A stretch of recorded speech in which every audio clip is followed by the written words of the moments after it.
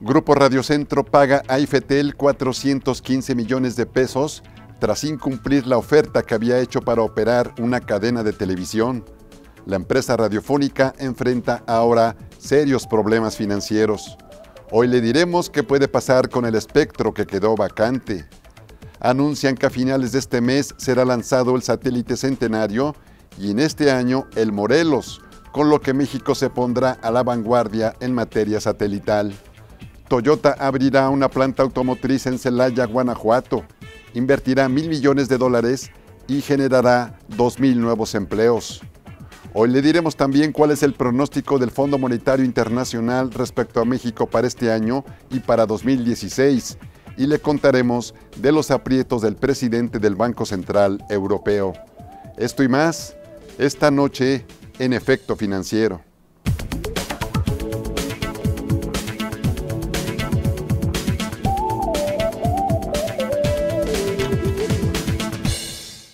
¿Qué tal? Buenas noches, bienvenidos a otra emisión más de Efecto Financiero.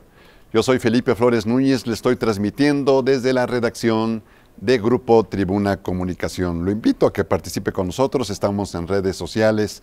Mi Twitter es arroba Felipe Flores Nu.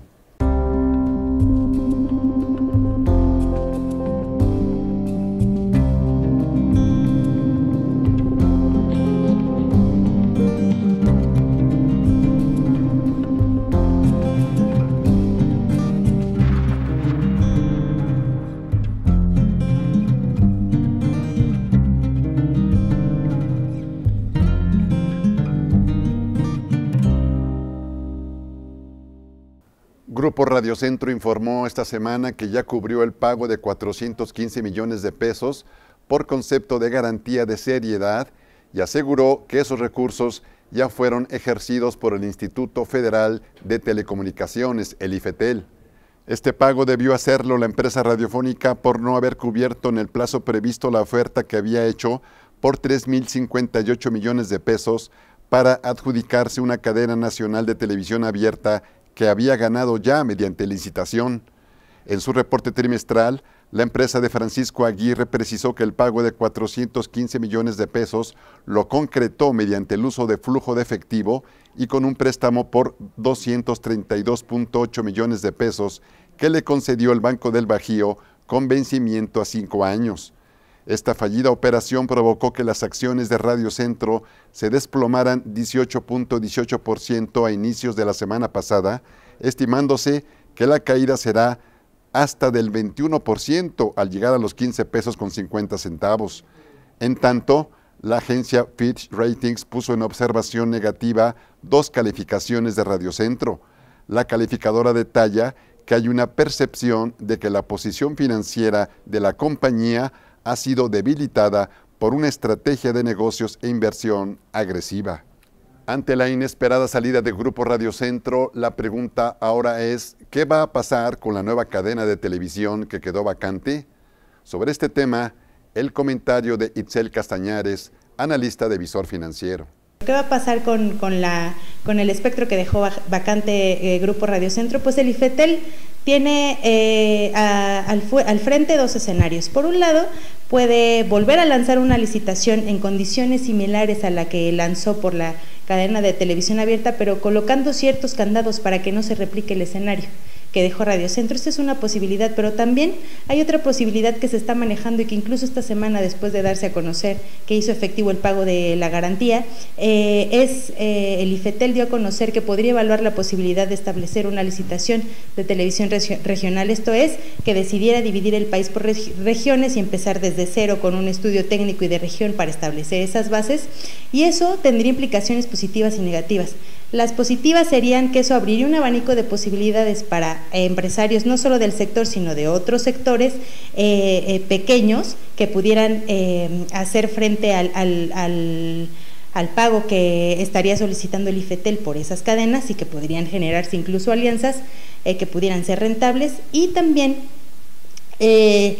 eh, y también podría abrirse la posibilidad de que pudieran participar varios grupos en estas cadenas. Pero por otro lado, en el corto plazo se ve difícil ante esta, ante esta, esta vacante que se pueda romper el dopolio que sigue dominando, que es Televisa y Televisión Azteca, y además se van a enfrentar a barreras de mercados en el corto plazo. Sin embargo, esta posibilidad de, los, de, nuevos interesados y, de abrirlo por regiones también es una de las posibilidades más fuertes que se manejan. Esta cadena la tiene que concretar, esta licitación de la cadena por la televisión y ese espectro que quedó vacante lo tiene que resolver el, órgano regulador en 2016 o más tardar en 2017. El gobierno de México anunció que a finales de este mes va a lanzar al espacio un nuevo satélite, lo que permitirá aumentar hasta en cinco veces la capacidad de atención de las dependencias de seguridad nacional ante riesgos y desastres naturales. De esta forma, se avanza en el proyecto integral conformado por tres satélites, el Bicentenario, que fue lanzado en 2013, el Centenario y el Morelos 3, que se pondrá en órbita a finales de este año. Gerardo Ruiz Esparza, secretario de Comunicaciones y Transportes, dijo que México se pone así a la vanguardia en materia satelital. El próximo 29 de abril, si las condiciones técnicas y meteorológicas son propicias, se lanzará el satélite centenario desde el cosmódromo de Baikonur de la República de Kazajistán, país que se encuentra en el continente asiático al sur de Rusia, a las 13 horas de tiempo local, medianoche del tiempo de México. México era un país muy rezagado en esta materia, ocupábamos los últimos lugares de la OCDE, México va recuperando estos lugares, estamos situándonos en buenos lugares ya en banda en Latinoamérica, prácticamente detrás del primer lugar que es eh, Chile, estamos ocupando un lugar destacado en materia también de avance en conectividad de Internet y de banda ancha en la OCDE. De hecho, México fue el país que más creció de los países de la OCDE en esta materia.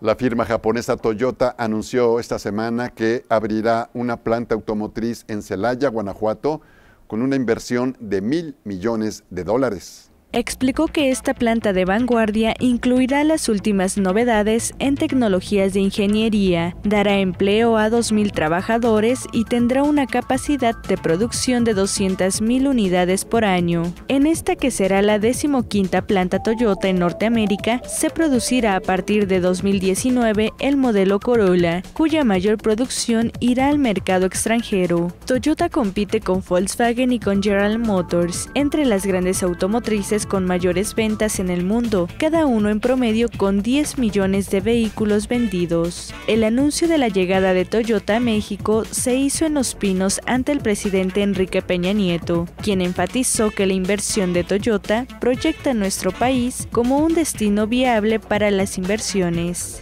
Hacemos un breve corte. Al regresar le platico que el Fondo Monetario Internacional no tiene buenos pronósticos para México.